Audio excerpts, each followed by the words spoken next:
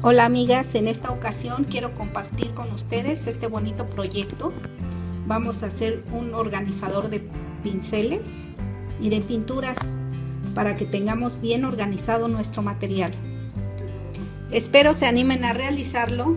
A continuación les doy la lista de material.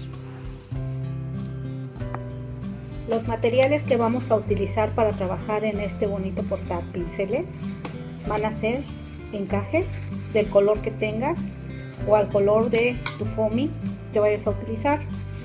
Necesitaremos también los diseños que te los dejo en la página de internet de arte y manualidades Mickey. Foamy en diferentes colores. Una latita de estas eh, donde viene la piña en almíbar y, o duraznos, lo que tú quieras o lo que tengas a la mano. Recuerda que estamos reciclando y estamos ayudando a nuestro planeta. También utilizaremos dos latitas de atún y un frasquito o, o, también latita que tengas un poco más grande, ya que aquí van a ir nuestros pinceles. Recuerda que son un poco largos y necesitamos un cilindro más largo. Necesitaremos tijeras, pegamento, regla y un palito de brocheta. Vamos a empezar a trabajar en la base de nuestro portapinceles. Esto es una paleta de colores. Si no tienes una tablita de reciclaje que tengas, lo puedes hacer también con cartón. Un pedazo de cartón lo cortas a la medida, transfieres tu diseño y lo cortas todo alrededor. Si tienes la maderita, únicamente lo que es es transferirla en el foamy y después pegarla sobre tu madera.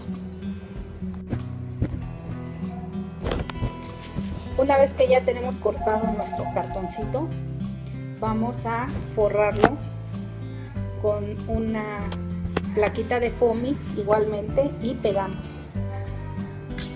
Ya recortado nuestro diseño, lo vamos a transferir a, a foamy. Igualmente recortamos y nos queda de esta manera.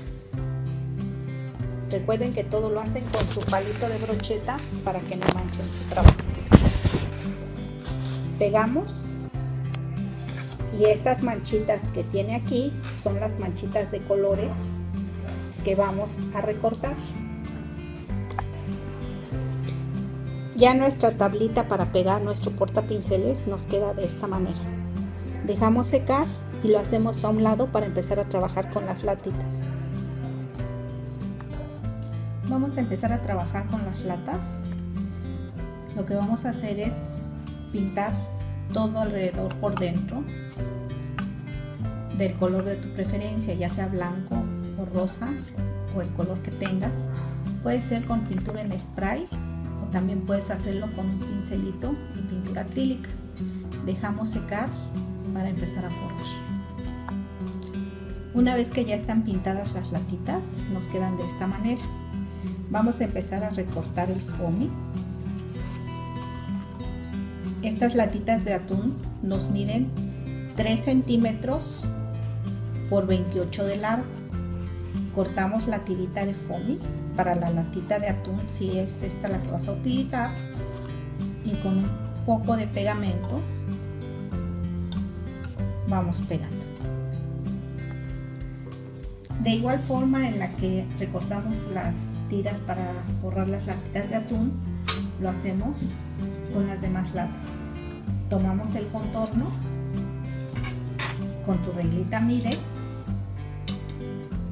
sacas en el foamy y marcas. Para empezar a forrar nuestras latitas, lo único que vamos a hacer es tomar la medida de lo largo, en este mide 16 centímetros.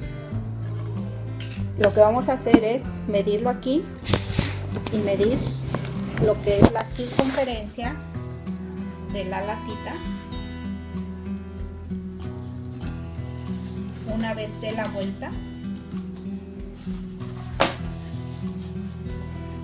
marcamos con el palito de brocheta donde da la vuelta.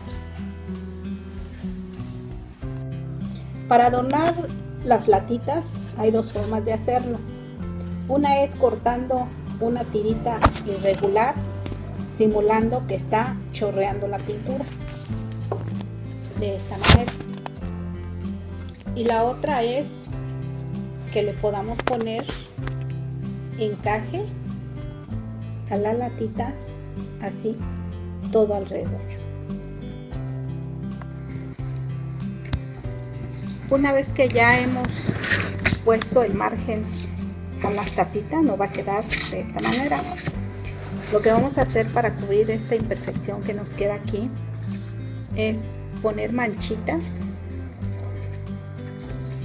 recortes de foamy simulando las manchitas de pintura que quedan muchas veces en los botes. Y colocamos en diferentes posiciones. Espero les haya agradado y se animen a realizarlo ya que nos permite tener bien ordenado nuestro material.